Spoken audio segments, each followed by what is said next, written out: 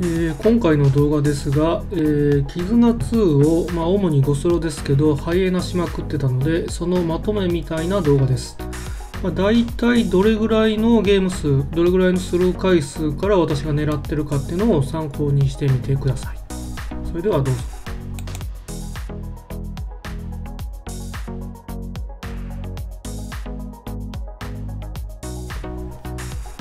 まあ、恐ろしいゲーム数で落ちてましたね。あと100ゲーム回したら800ゲーム天井に行くというやつです。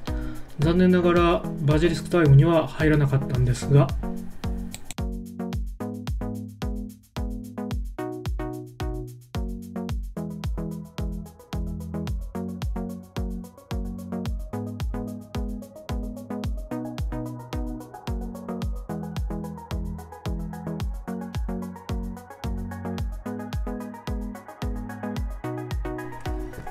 えー自分の記録を写真の記録を振り返ってみますと終了画面を撮り忘れてたっていうのが、まあ、結構ありまして、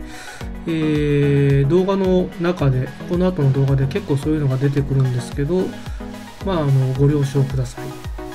多分終了画面撮ってないのは BT に入らなかったっていうのもあるんですけど入ったけど撮り忘れてたやつもあります。それでは続きをどうぞ。次の日。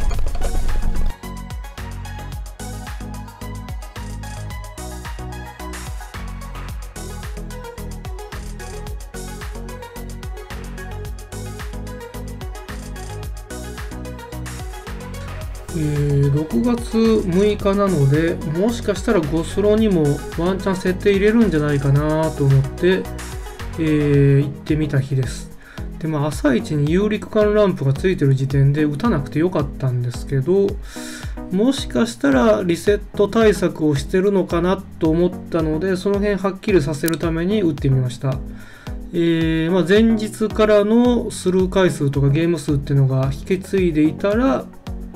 まあ、あの据え置き濃厚ってことが分かるので、まあ、その辺のことを調査したくてっていうのもあって打ってみました、まあ、ゴスロなんですけどね、まあ、今から思えばめちゃくちゃ据え置きだったと思います。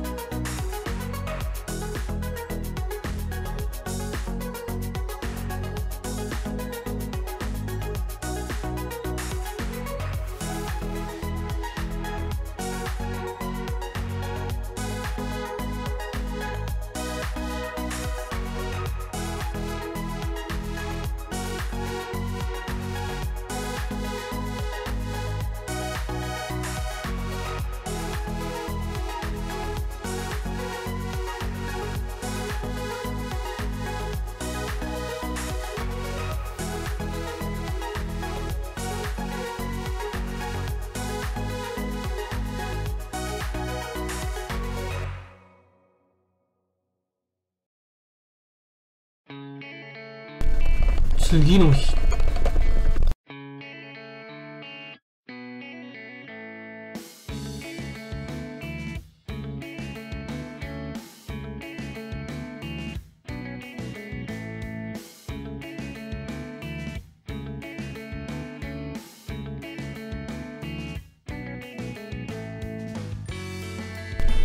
次の日。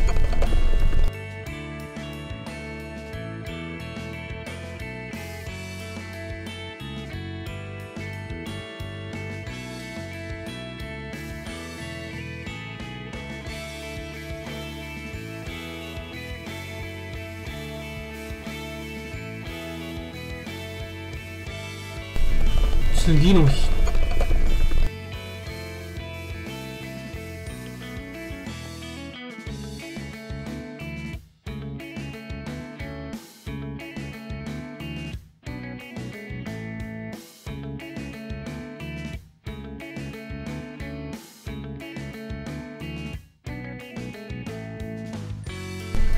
次の日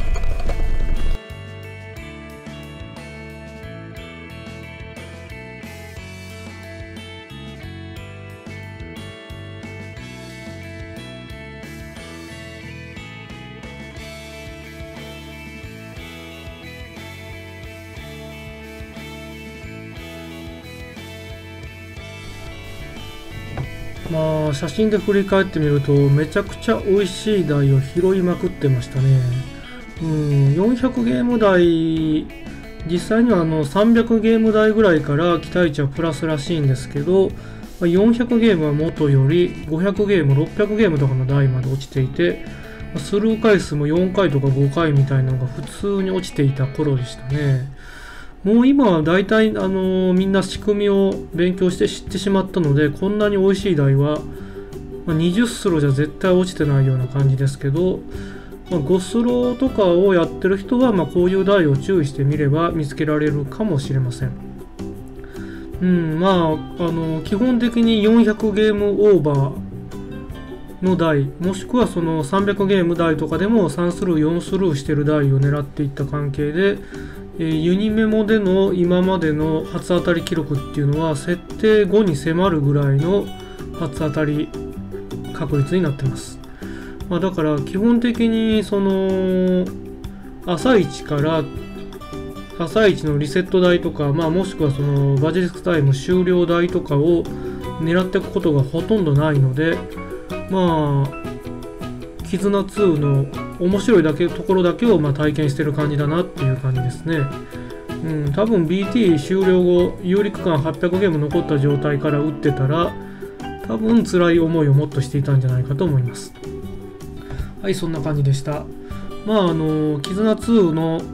期待値拾いをいろんな方はされてると思いますけど、まだしたことない人は一つの参考になったのであれば幸いです。